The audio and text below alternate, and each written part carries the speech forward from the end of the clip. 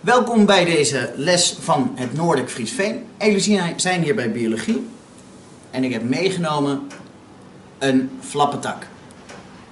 En flappetakken zijn dieren die jullie misschien wel kennen als wandelende takken.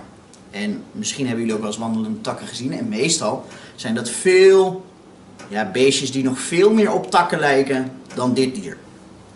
Er zijn namelijk heel erg veel flappetakken of wandelende takken. Heel veel verschillende soorten en die zijn best moeilijk uit elkaar te houden.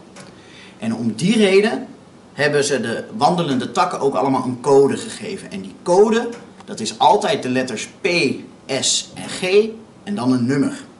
En in deze les gaan jullie uitzoeken welke code bij de flappetak hoort.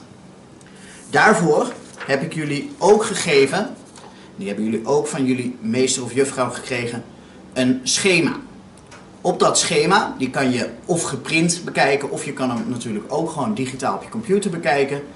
Heb je een startpunt en dan volg je de pijltjes en dan krijg je steeds een vraag. En van zo'n vraag zijn er altijd twee pijltjes die ervan aflopen. En die pijltjes, die moet je volgen met het antwoord wat jij denkt dat goed is.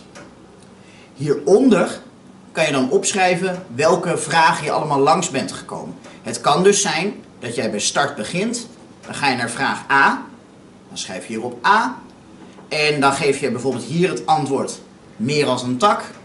Dan volg je dat pijltje en dan kom je volgens mij bij vraag B. Schrijf je B op en zo ga je door met vragen beantwoorden totdat je bij een van die zwarte codes komt.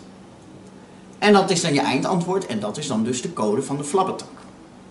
Jullie weten natuurlijk lang niet alles van een flappetak en daarom ga ik jullie een verhaaltje vertellen waar in principe alle antwoorden die je nodig hebt in zitten. En ehm, als je die vragen dan uh, beantwoordt, dan kom je bij het goede dier. En als je denkt, ik heb wat gehoord, maar ik uh, weet niet meer zeker wat het was, kan je natuurlijk altijd even terugspoelen. De flappetak is dus een wandelende tak, maar zoals jullie wel zien, en zeker als hij stil in de bomen zit, lijkt hij eigenlijk niet zoveel op een tak, maar meer op een gedroogd blaadje. En dat is ook gelijk de verdediging van uh, alle wandelende takken en de flappetak ook.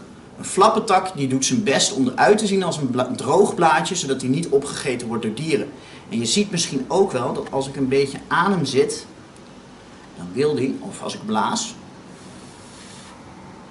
ja, hij doet het vandaag. Oh ja, nu doet hij het wel. Dan gaat hij wiebelen als een blaadje in de wind. Dus dan lijkt hij nog meer op een droog blaadje aan een boom.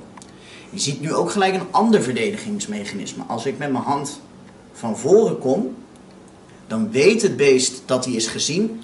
En nu heeft hij zijn voorpootjes omhoog en zijn achterpoot opgekruld. En misschien weet iemand dan wel een beetje waar hij dan een beetje op lijkt. Hij lijkt dan namelijk een beetje op een schorpioen. Schorpioenen zijn giftige dieren. En de meeste dieren zullen dus een schorpioen niet op willen eten of erbij in de buurt willen komen. Een flappetak is helemaal niet giftig of gevaarlijk. Maar ja, dat weet een beest dat een flappetak op zou willen eten natuurlijk niet. Um, dat is ook een soort vorm van uh, camouflage. Als laatste, wat takken, uh, ook nog kunnen doen, en dat zal ik zo meteen even voordoen, uh, is zich gewoon laten vallen. Flappetakken leven namelijk best hoog in de bomen. En uh, als zij uh, te veel lastig worden gevallen, dan trekken ze op de duur gewoon al hun pootjes in. En dan laten ze zich vallen. In de hoop dat ze een andere tak vinden. Nou ja, nu vindt hij steeds mijn hand. Dus daardoor gaat hij gewoon aan mijn hand blijven hangen. Maar je ziet ook hè, met die pootjes, er zitten een soort klimhaakjes aan. Hij kan fantastisch klimmen in de bomen.